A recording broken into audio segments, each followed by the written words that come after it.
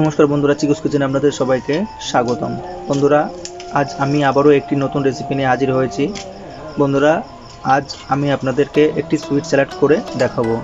Pasta দিয়ে এবং mayonnaise দিয়ে খুব সুন্দর একটি সুইট স্যালাড করে আপনাকে, আপনাদেরকে পরিবেশন করব। তো বন্ধুরা, চলুন দেখে নেওয়া যাক পাস্তা দিয়ে কীভাবে সুইট স্যালাড বানাতে হবে প্রথমে আমি আমার উনুন ধরিয়ে নিয়েছি এবং উনুনে কড়াই চাপিয়ে দিয়েছি। আমি এবার কড়াইটিতে কিছু পরিমাণ জল ঢেলে দেবো। আমি এবার কড়াইটিতে কিছু পরিমাণ জল ঢেলে দিয়েছি।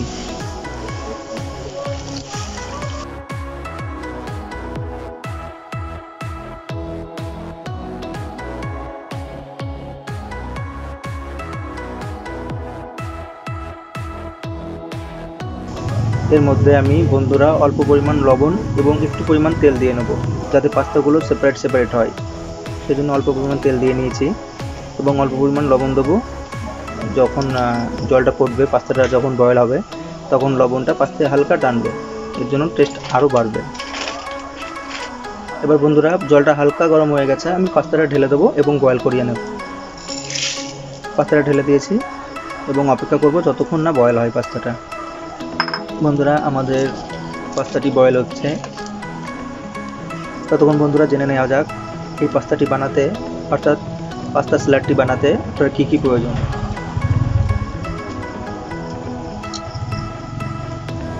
পাস্তা স্যালাড বানাতে বন্ধুরা, পাস্তা পাস্তা তো প্রয়োজনই।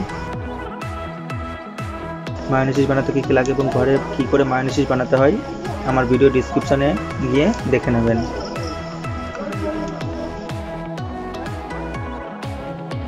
পাস্তা সুইট স্যালাড বানাতে।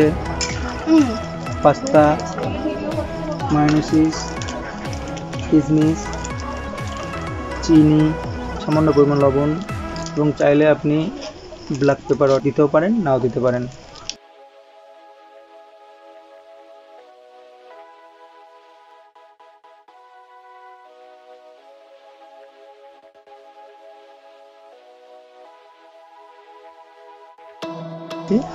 এবং অপেক্ষা করব যতক্ষণ না বয়েল হয় পাস্তাটা।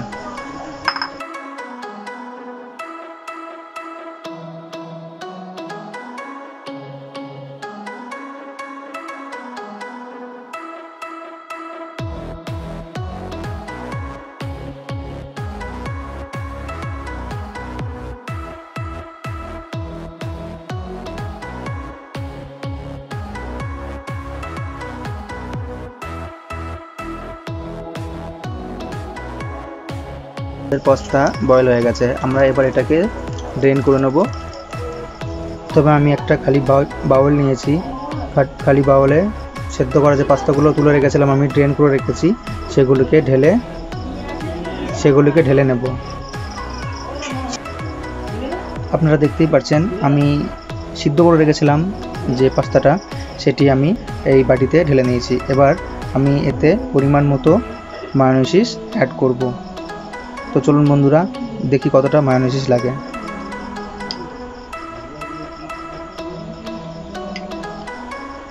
পরিমাণ মতো মায়োনিসিস দেব এবং এটিকে মিশিয়ে নেব।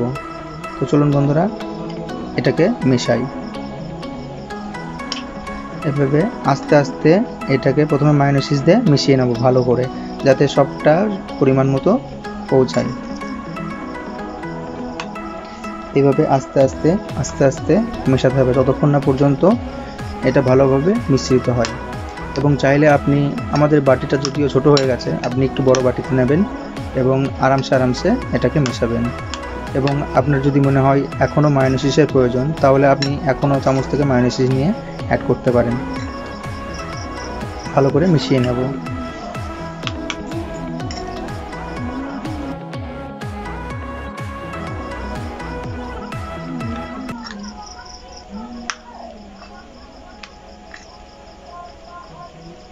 আর বন্ধুরা, আমার মাংসের সঙ্গে পাস্তাটা খুব সুন্দরভাবে মিশে গেছে মিক্সড হয়ে গেছে। আমি এবার এর মধ্যে এক চামচ চিনি দিয়ে দেব।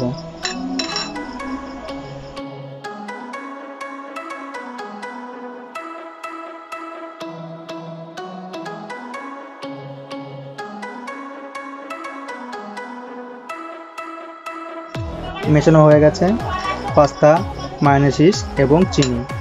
এখানে বন্ধুরা আপনারা চাইলে অল্প এক চিমটি গোলমরিচের গুঁড়ো মিশিয়ে দিতে পারেন, কিন্তু আমি এটা দেবো না। আমি ওটাকে ছাড়াই ব্যবহার করছি, ঠিক আছে? এবার বন্ধুরা, এর সঙ্গে আমি কুড়ি গ্রাম মতো, যেহেতু আমার একশো গ্রামের পাস্তা কোয়ান্টিটি তো সেই জন্য আমি এতে কুড়ি গ্রাম মতো কিশমিশ অ্যাড করে নেব এবং মিশিয়ে নেব সঙ্গে।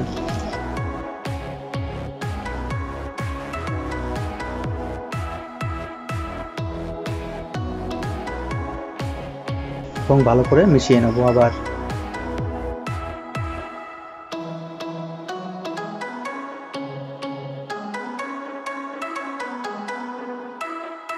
জুম করে দেখাচ্ছি, দেখেন, এইভাবে আস্তে আস্তে মাইনিসের স্যালাড তৈরি করতে হয়। আশা করি বন্ধুরা আপনারা বাড়িতে চেষ্টা করবেন এবং খুব সুন্দরভাবে এটিকে পরিবেশন করবেন।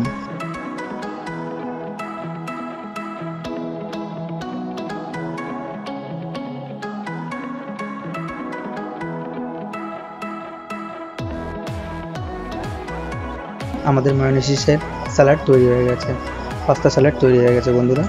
তো আপনারাও বাড়িতে চেষ্টা করুন, আশা করি খুব সুন্দর লাগবে।